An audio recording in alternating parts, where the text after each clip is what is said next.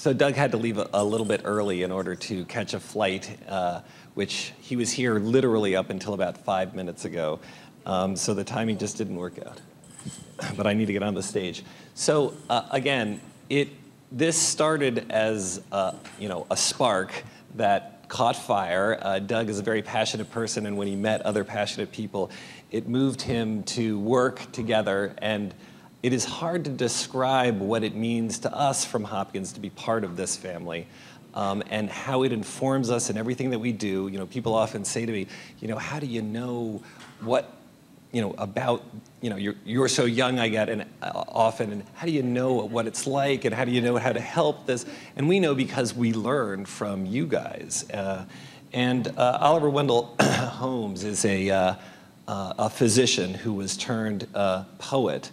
And he said, Life is action and passion. Therefore, it is required of a man that he should share the passion and action of the time, at peril of being judged not to have lived.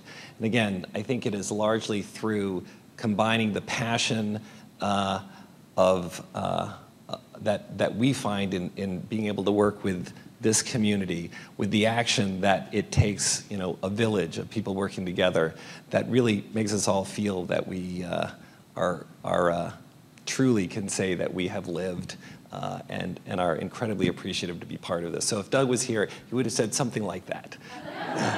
so again, thanks.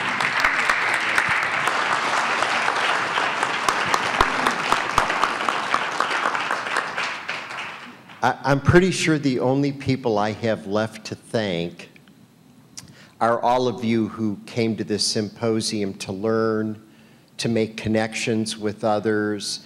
Uh, we, we know just what a sacrifice it is in your lives in many different ways to get here, from the financial sacrifices to the time away from family, uh, to the difficulties in traveling, which, believe me, we understand uh, for you guys to come from as far away as you have from England, from Sri Lanka and Ghana, blows my mind.